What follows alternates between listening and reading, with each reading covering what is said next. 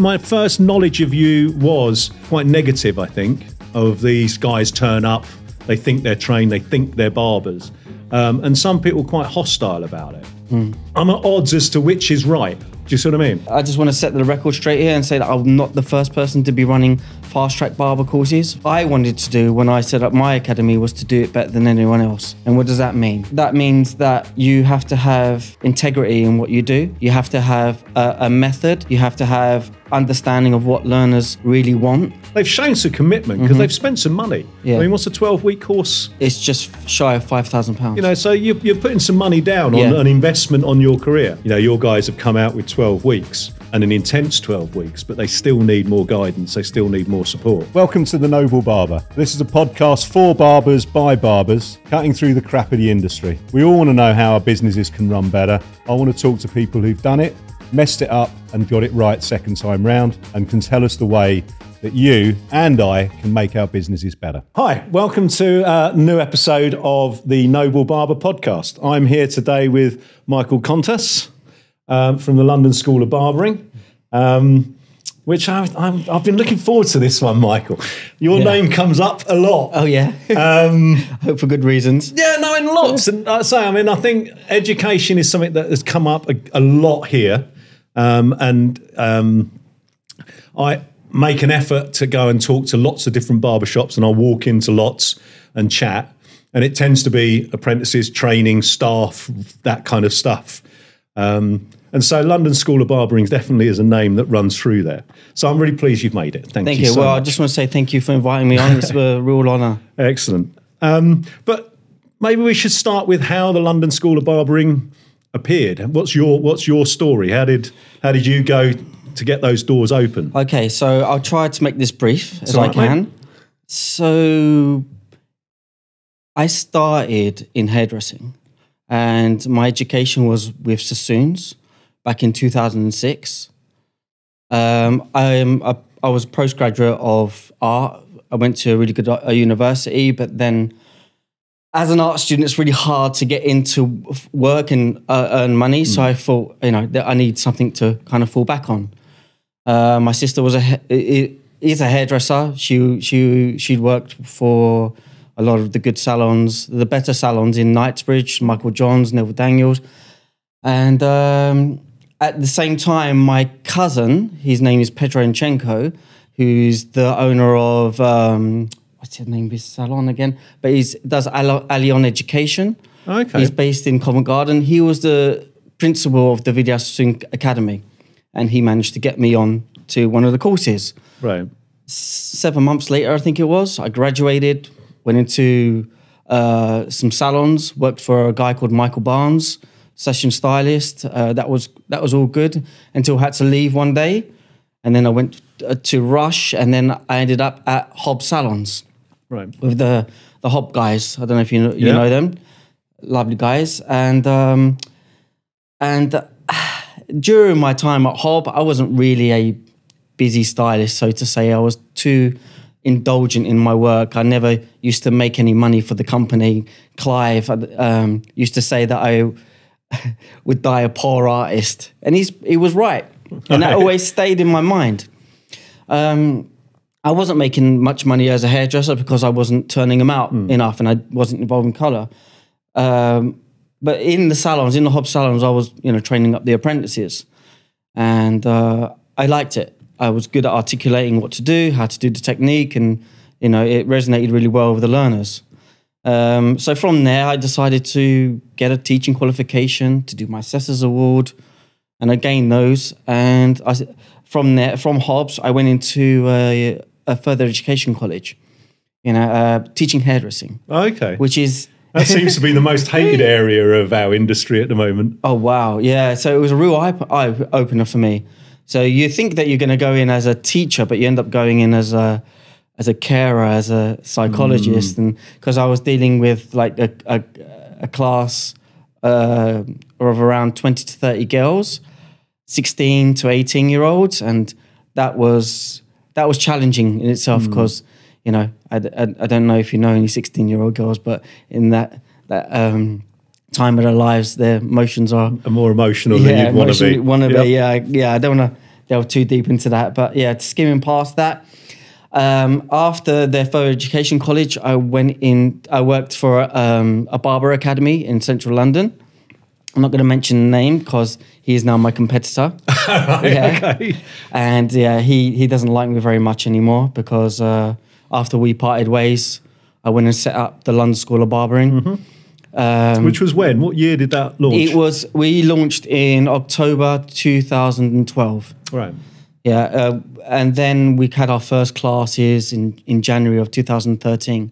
So we're getting all set up and ready, and first class is in January. In this in the same space. no, we did. We were in Covent Garden, our first, um, Right. our first academy, Drury Lane, Oh, on the first floor, Drury Lane. Yeah, we we uh, it was it was it was a bit of a gamble. You don't know what you're doing, Sure. you're, you're doing, but you know you you have a vision. Um, you know what what um, made me want to do it in the first place was that I wanted to do it better than anyone else was doing it. You know, um, I just want to set the record straight here and say that I'm not the first person to be running fast track barber courses. Fast track barber courses were around Yep. before I w- even thought of doing them. What I wanted to do when I set up my academy was to do it better than anyone else. And what does that mean? It, it, it- what that means that you have to have integrity in what you do. You have to have a, a method. You have to have understanding of what learners really want. And over the years, we, I believe that we've kind of fine tuned it to get that the, the the kind of idyllic learning experience for our students. You know, because at the end they they're the ones that are paying for it. They're the ones that want to learn a new profession, and we've got to deliver on our promise. Yeah. And um, you know, now as as really kind of one of the probably the main suppliers for London barbers at the moment. You know, when we start recruiting, we tend to find um, that's part of a CV. You know, we're probably three camps that we have either have done a paid for course, um, have done an apprenticeship, which is uh, have been working elsewhere for a long time, or the new group of the self taught who have taught themselves from YouTube Sure. um, all have their own demands. But as your point of view, if you imagine yourself as a barbershop owner taking one of your graduates on that have done a 12 week course, what happens next? Where do you think a barbershop? Because I think my react, my first knowledge of you was quite negative. I think of these guys turn up, they think they're trained, they think they're barbers, um, and some people quite hostile about it. Um, but I've met, I mean, I met Liam from an earlier podcast, who's the most enthusiastic and the most amazing chap I've met. Sure.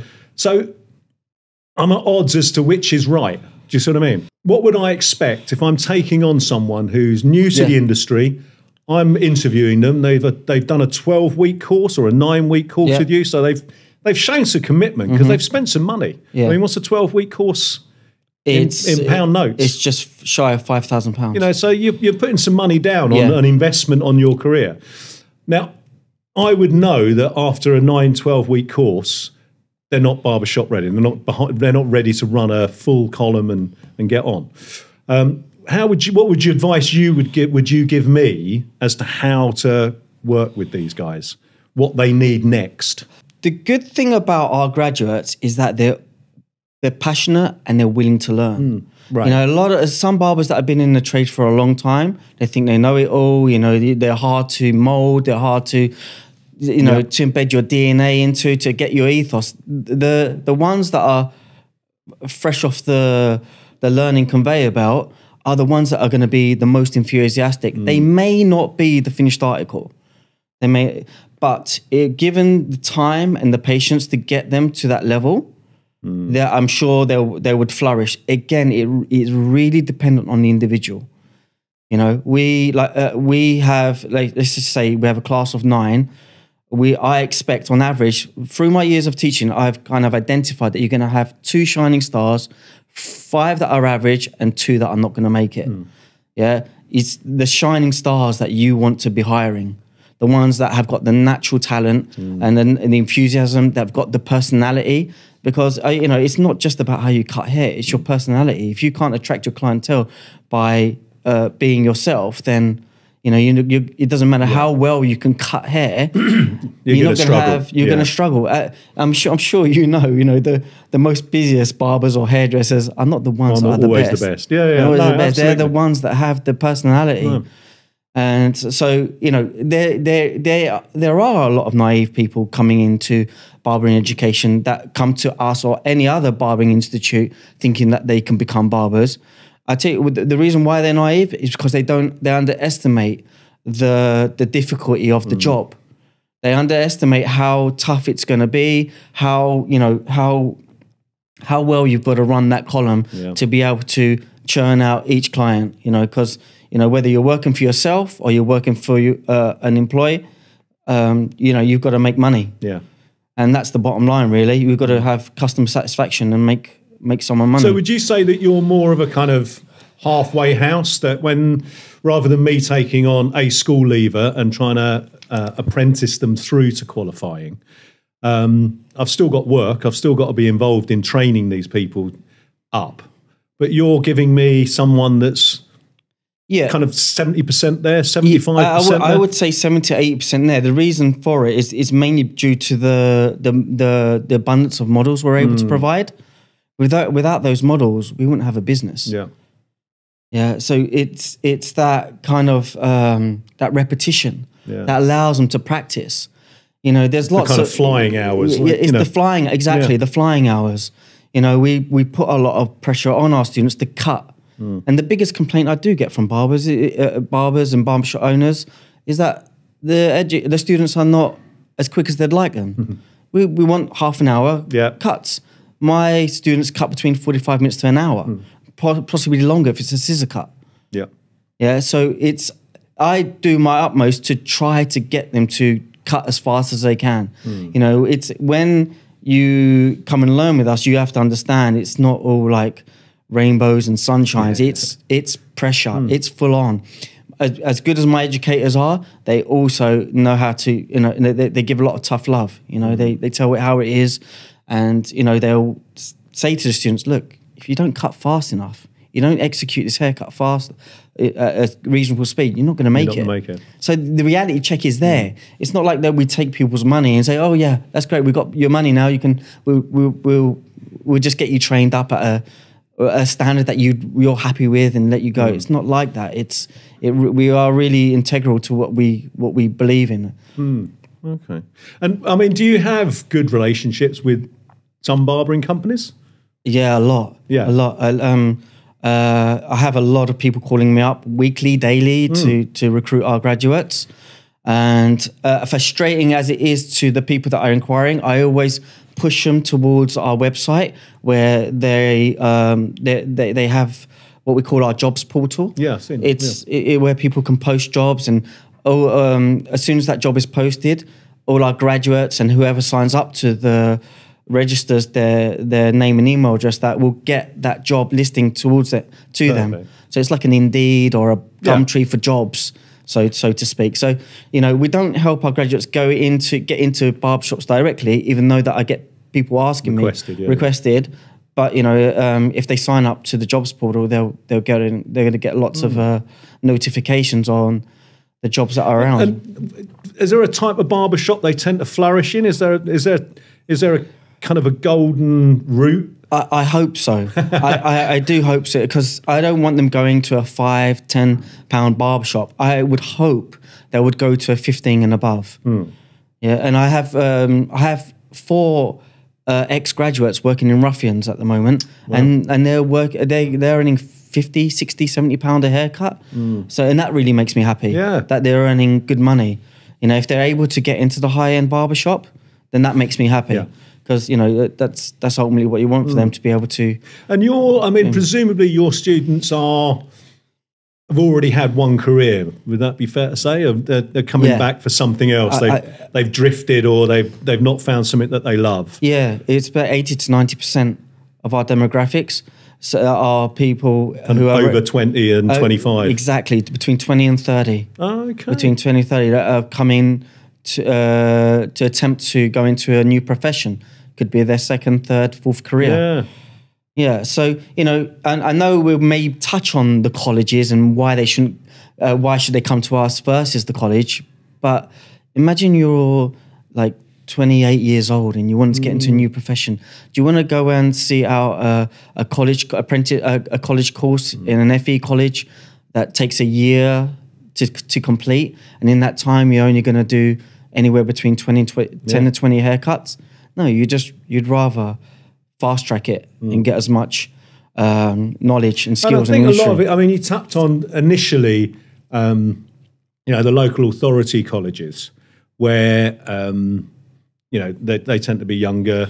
They're drifting into it because everyone says you should do that. They're 16, 17, 18. By the time you're 24, 25, 26, and you've had two or three careers, you're you're presumably more focused. The people you have on your courses have got to be fairly driven people. They've they've they've stuck their five grand to one side to to do it, and then have paid. They've got to, they've got to live for three months without any wages, presumably, Yeah. while they're on a course. Yeah, it's so there's on. a commitment that's gone in there. Spot on, and that is the beauty about being a private institute than rather than being government funded. Hmm. Is is that you don't have to deal with the people that don't want to be there, Yeah, the people that are put there to you know to essentially put bums on seats so they can get the funding. Funding, yeah, so, the, yeah. so we have to remember FE colleges are businesses as well. yeah, no, absolutely.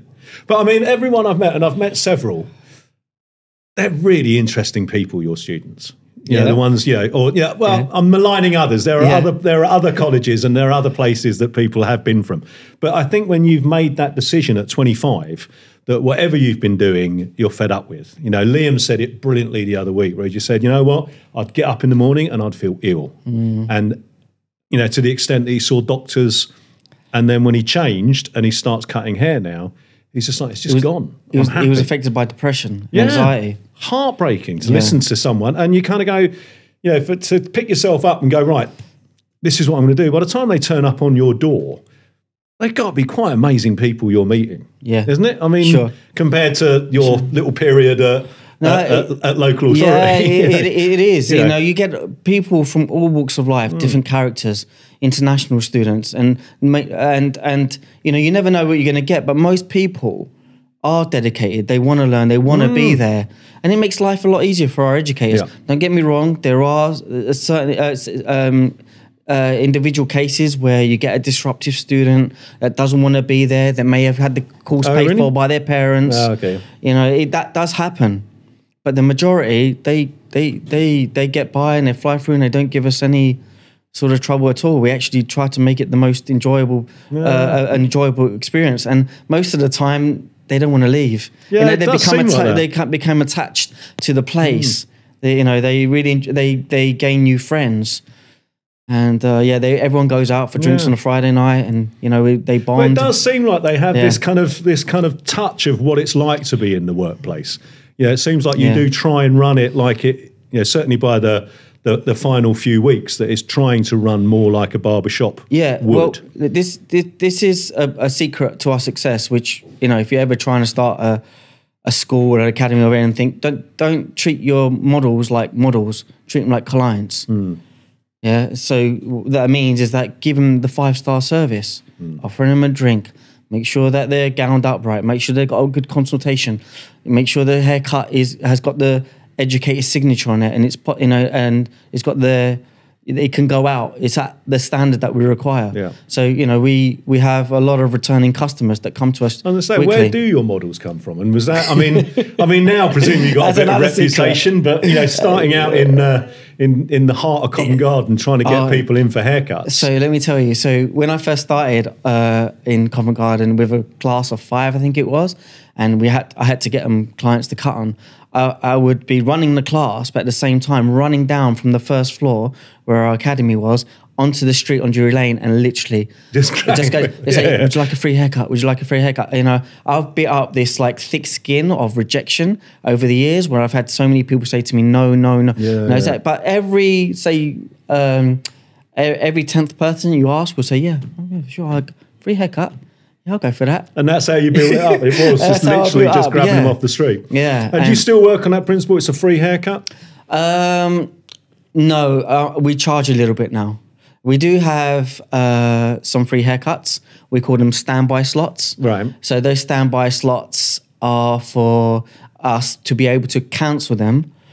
I, no, if, if we knew that there are, we had an absent student, Cool. they were sick or they couldn't get in or they had some emergency, Yeah. then we have the ability to cancel that client. So that might happen once or twice a week Oh, okay. where a student doesn't come in. And because we allocate this uh, X amount of mod- models, clients, for that student to cut on that week. Right. So if they're not in on that day, then we have a s- surplus of models, and then our our waiting area is full. So we have to manage it. Yeah, and over, over the years, we've we've developed a, a system where we've been able to manage, you know, uh, surplus and uh, you know not enough models as well to be able to Hmm. make sure the students get enough cuts. Because that's the big thing. If they're Yeah. paying and they're doing, and all of a sudden, you know, there is an awful lot of courses out Yeah. there at the moment that are 100% on blocks. And I'm never A quite lot of the convinced hairdressing that- ones, right? Well, there's quite a few barbering ones that you're clippering mannequin heads, Yeah. um, which, you know, for a couple of days is fine. But to do 12 weeks of that, you're, you're Yeah. not gaining. Yeah, I don't I don't know how you can really learn on a don't know how you do a mannequin. fade on a. yeah, yeah, you can you can get taught the basics, And the the tools the, and the motions, yeah. just just a little taster. But then it mm. has yeah, the only way you can learn is on real people, Yeah. and that's the that's the experience mm. for, for our trade. So, what's a haircut cost? Uh, anywhere between three and seven pounds. Okay. So it depends. If you're What was, level two, student- what was the decision to charge for, though? What made the. we had so many models that wanted Yeah. to come and have haircuts from us, and uh, we did it at a time where kind of business uh, d- d- declined a little bit. So we just thought that we'd Another revenue we had stream. another revenue stream to to help us balance the books No, that's cool. to keep our heads above. And how did that go from freebies to three Yeah, quid, yeah, seven nobody, quid? Nobody really batted an eyelid. See, that's the thing. I keep having this conversation all the time. You got to be brave enough about your pricing. Oh, yeah, you know. absolutely. You and gotta- if you, you- you know, if you're, you know, if you don't, if you can't, if if you're not making enough money, you've got to put your price up. You've got to look at what you're doing and not be afraid to charge for your for your skill. Yeah, absolutely. You know, and with these with these guys coming in, you know, they are they've they've paid their money. They've they've got a commitment, and by week seven, eight, nine, they've they've earned their skills. You know, even if it is only for a free quid haircut, I think it does put a a Yeah, tax on it. Yeah, like. they they need to know that this client is paying, as well. yeah. This is what you've got to get used to. Yeah, no, it definitely does you a different mindset, I think. Yeah, no, definitely. So now your problem isn't necessarily models. They line up for you, you get a nice steady stream, You've got your customers, so you've got all that. Seems like there's an awful lot of barbers still coming into the industry. So are you you, think so? Yeah, it does seem Yeah? like it. You know, How did you gauge that? How do you, um, how do you gauge I think it's really for the amount of conversations that are coming Yeah. up. I think there is an element of, I mean, one of the big things is you're seeing so many barbershops appearing on every single high street. Yeah, there's certainly a, a, a rebirth of more barbershops, however useful, legitimate, or interesting they are. Would you call that a rebirth, or would you call that like a new phenomenon? Having eight barbershops on one high street. Um, well, I think there's always been when you, you know, there's always been an element. When I opened my first barbers, we opened it because there was none, there weren't any around, and we opened up our cute little barbershop and it was really cool. And then within a year, three were within a couple of hundred meters, um, and that's because they saw a big queue outside of ours, and they're like, "Oh, that's that's that." Now, now I do think there are some streets where it's gone to insane lines, where, like you say, you've got eight on a high street Yeah. that I don't know how they make. Yeah. Have you had uh, the Turkish barbershop conversation with any of your hosts yet? Um, well, I've had a conversation with someone re- really about about Turkish bar, real proper Turkish barbers Yeah. getting upset with people putting Turkish barber on the front of their signage. Um, so there definitely seems to be no lack of barbers appearing in our on our streets. Sure.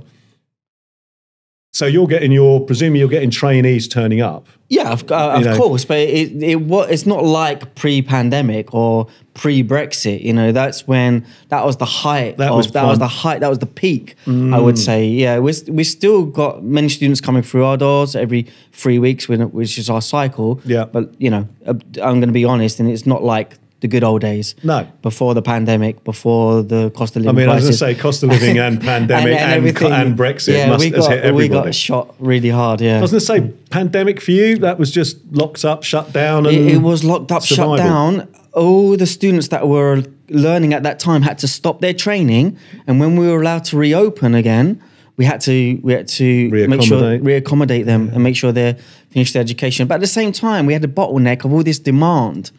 So we had to we, uh, once we saw all those students that were waiting to get onto our courses, then we started to see a little bit of a difference in the in in the in the bookings. No problems in the business then. I wouldn't say there is any problems in the business. No, no, because you know we've like I said, we, it's an established business. Mm. Uh, we've got the teaching down. We've got everything down. You know the the system, how we teach, the methodology. That is all gravy. Uh, what I I'm always concerned about as a business owner, as an entrepreneur, is uh, not being left behind, Hmm. being like always being one step ahead.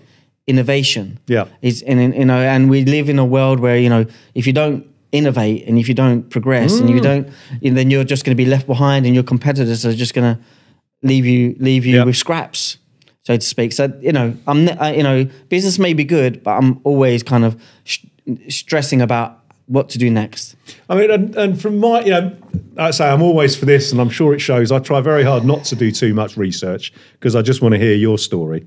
But um, in my head, a lot of it has been my experience of LSB has been the, you know, from novice to master, which is your 12 week Yeah. course. There are other courses. You do other things there.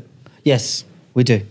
We do. We have a variety of courses to uh, suit one's needs. Uh, someone in the industry, say a barber, a hairdresser, we have a two-day skin fade course for, say, a hairdresser that doesn't know how to do a skin fade.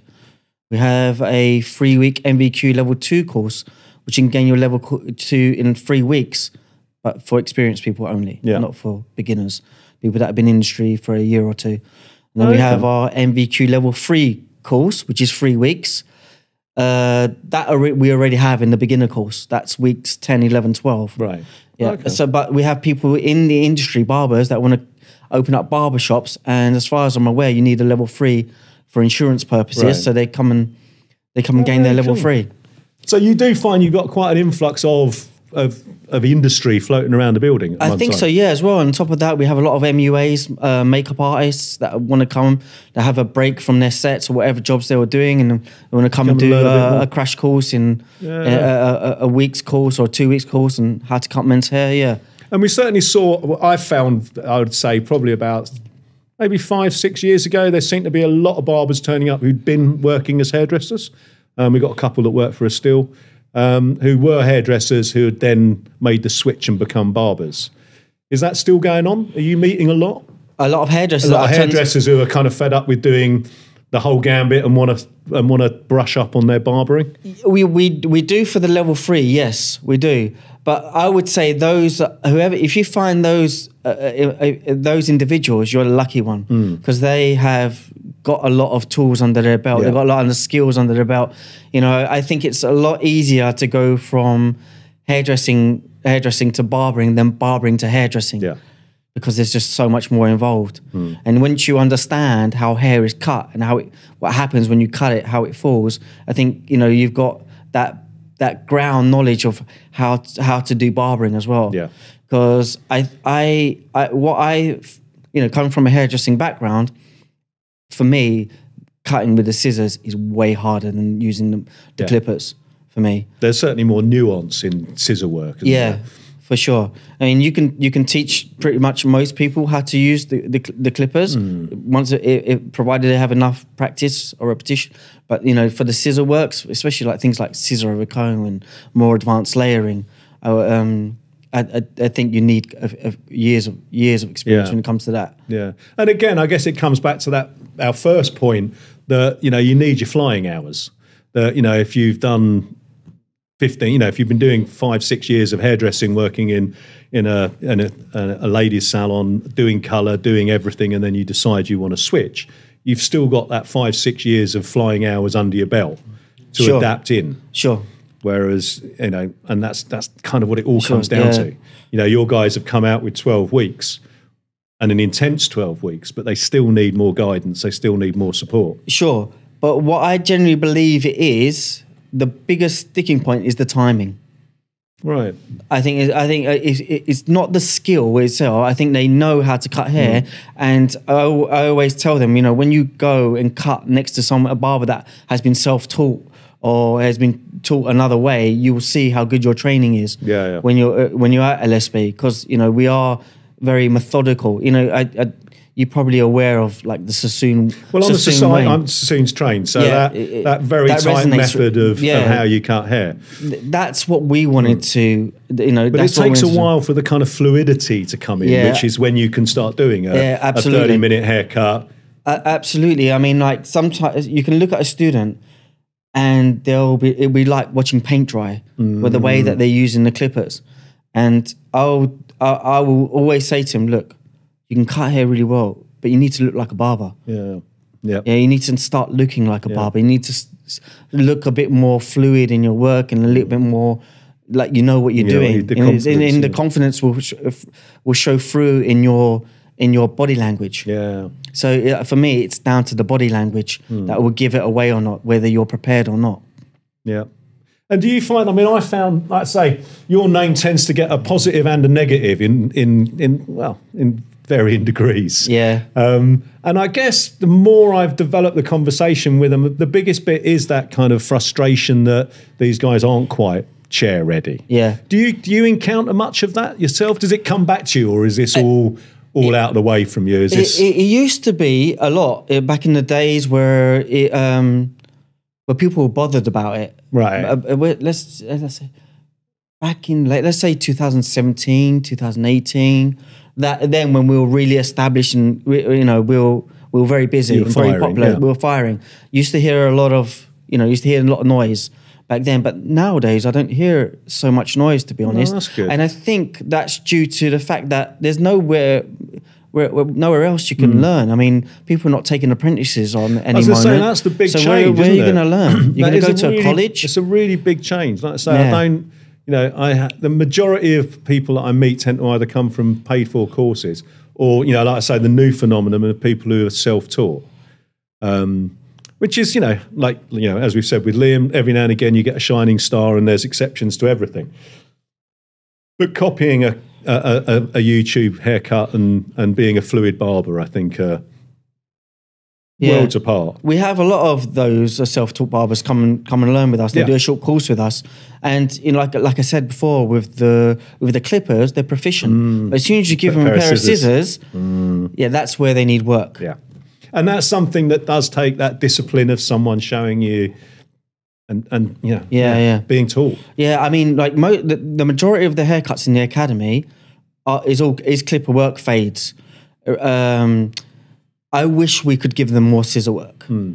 You know, because I wish we could get more haircut scissor work wise to get them understanding precision cutting, l- layering, how hair falls, and Yeah. to understand how to cut a, a long haircut. Because that that will come back around again. Yeah. If mullets came back, then long hair is going to come Yeah, back. yeah. and I mean, So- definitely. I mean, we, I've you know had a, I've had lots of conversations, and it is amazing that kind of the OA, you know Noel Gallagher's haircuts back, all the mullets are coming back, Yeah. the the um, the curtains are coming You know, back. we said mullets were coming. They came back. They- what did they? Were they even in?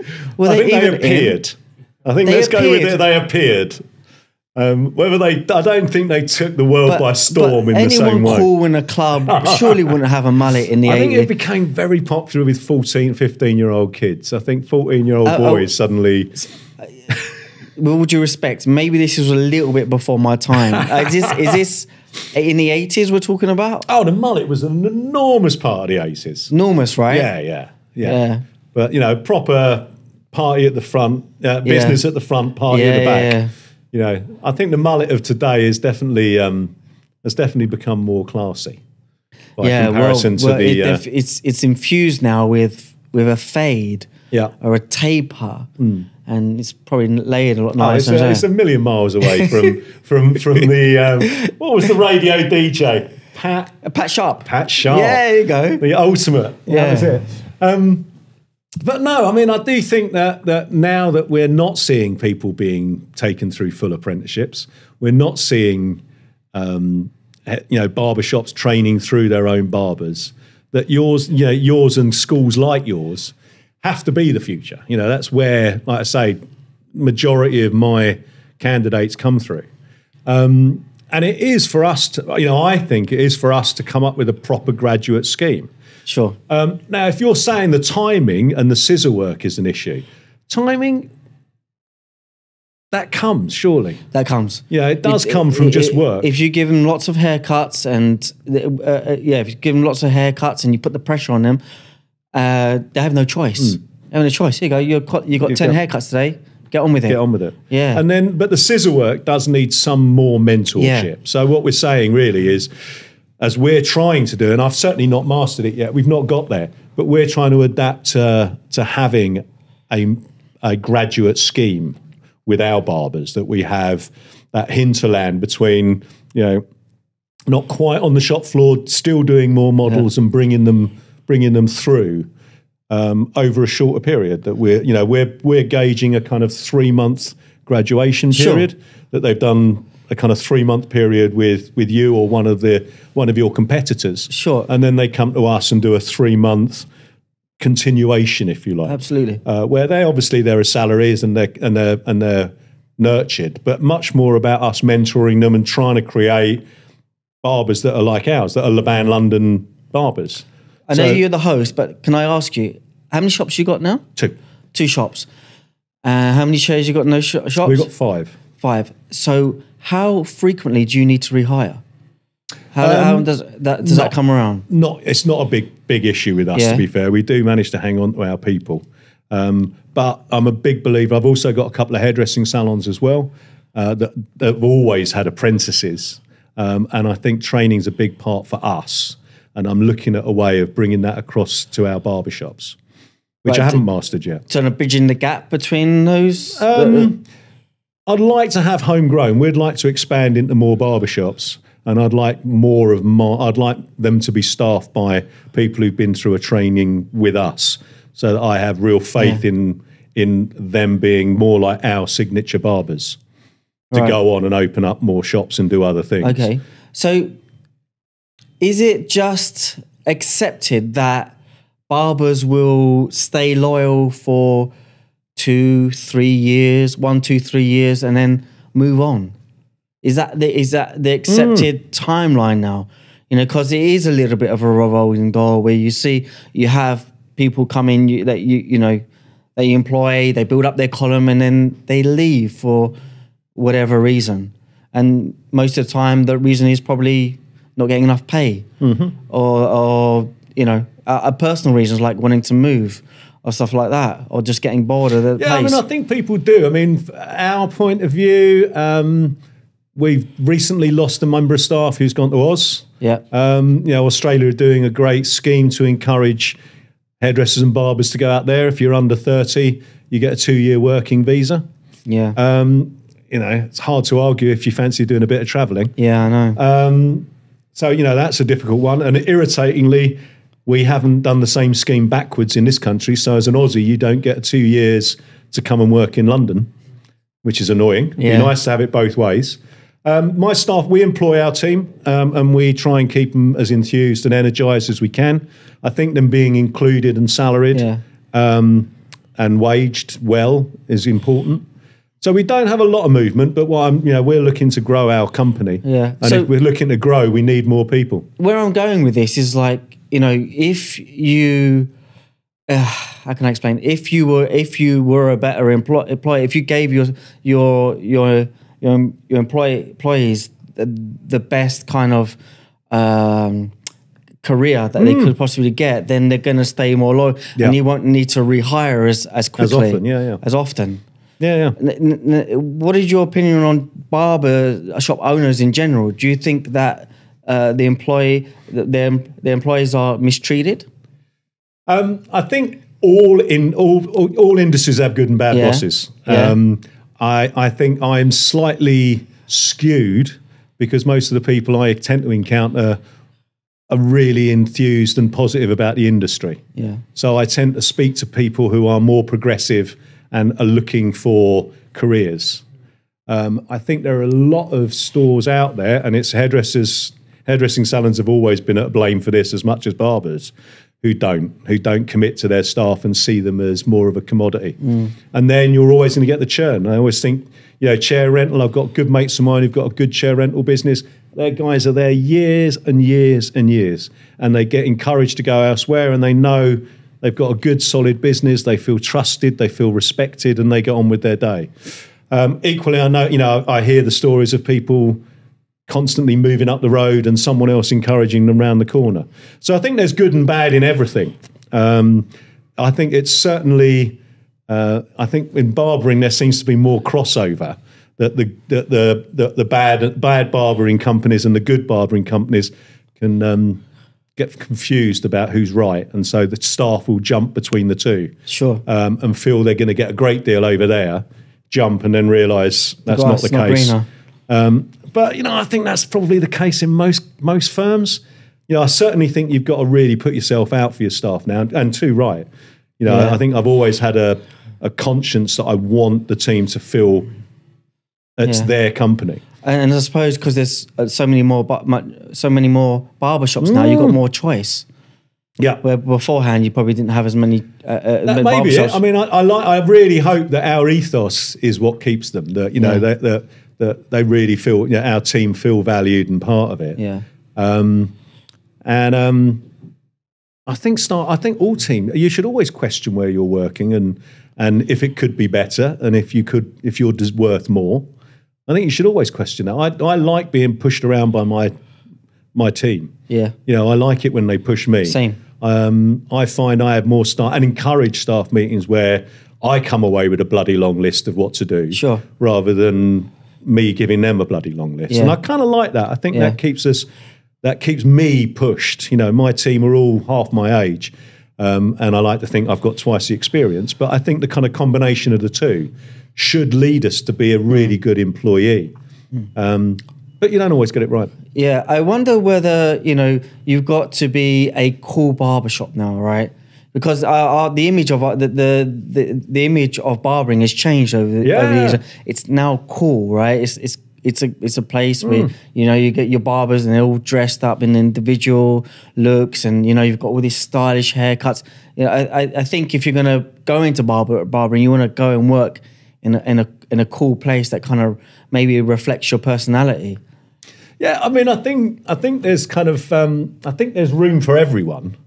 Um, I think you know our our two stores are the same name. They have huge amounts in common, but have quite a different clientele. Um, so I think with barbers, the big one is to know who your audience is going to be, because if you're not, you know, the coolest kid on the block, it's going to seem fake if you suddenly start Sure. buying a label, you know, cutting your hair, tatting up, and trying to be. You know, you're not going to be authentic, is a word I overuse. You're not going to be authentic. Um, yeah, there are those places, you know, Yeah. and I think you know I'm I'm speaking to more and more places that are kind of you know gender fluid barbershops are much more about people's identity and how they feel about their identity than whether they're hip and cool. Um, I know an awful lot of guys that come into our shops who are well into their 70s, but they feel young at heart, who still want to come in and be part of the environment. Um, so I think you need to kind of find out. I think if you know who you are as a barber, you should go and look for the shop that reflects you or the shop that you feel you want to aspire to. Yeah. And I think you should always try and be as late, as lame as it sounds. It's your job to be the best you can be, and you want to find a company that you kind of go, that is going to make me better. Sure. Um, so I think that's probably mine. Man, Sure. I'm meant to be asking the questions. Yeah. What are you doing to me? I've got off track a little bit. Buddy, I've wanted to meet you for a very long Yeah. time. I really appreciate Yeah. your time with us. Um, No, I'm just But- intrigued. but- I'm, I'm I'm intrigued to hear the other side of the, Well, the I think that's not- So, you know, I my job is to get people Barbershop into ready, yeah, yeah. barbershop ready. So I, I'm I, I'm going to hold my hands up and say I'm I'm Mm. ignorant. I don't know enough about what's going on in the industry. What I've I've kind of stayed in my lane for these the, throughout the years and just really focused on on on doing the best job we can. Mm. And we we but with that, I haven't been um, in touch with with the industry itself. So it's great to you know when I do finally meet some people in the industry to ask them, Yeah, no, what's going mate, on? I've- I- what's Mm. the what's the what's the feeling? What's the vibe in the industry right now? Are we are we worried? Are we anxious? You know, are we are we in a good place at the moment?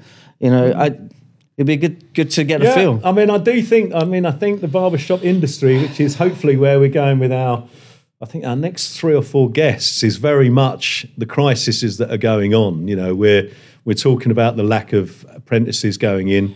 We're talking about VAT and the costs of of the VAT registered company, the Yeah. employer. We're trying to get that down, right? Um, you know, that's that. that hopefully will change. You Yeah. know, you're, we've already spoken about the vast amount of barbershops piggybacking other stores. Um, on top of the businesses that are still shutting their doors, either because of the unnecessary competition or from the fallout of COVID. Um, Or they're just running a bad- bad you know, business. Or just there's always the bits that just ain't doing it right. yeah, yeah. But um, we don't try and solve them all here, but we try. no. Lovely to hear your Yeah. story, mate. Thank, you so much for, having me. coming down. It's been a pleasure. Um, I always ask that if the if anyone's viewing who wants to make contact with you, are they okay to email you? Yeah, absolutely. They can contact me on info at londonschoolofbarbering.com or if you want to message me personally, you can message me on michael at londonschoolofbarbering.com.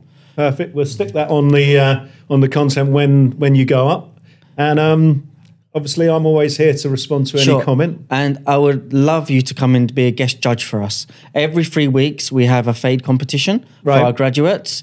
And uh, it'd be, we always get a great guest judge in. Liam's going to be our next judge in a couple of weeks' time. So if you've got the time on a Friday, one day, we'd love to come, come in and perhaps you can cherry pick your, your next uh, Our first graduate. your first graduate. yeah. Beautiful. Yeah. Michael, thank you very much. Cheers, You're guys. welcome. Thank you for watching this episode of The Noble Barber. If you liked it, please do like and subscribe. If you've got comments of what we should be doing in future, please give us your questions and we'll try and find an expert to talk to. Or if you're the expert and you want to come on here and help, stay in touch, we'll get you on. Come and join us on the sofa.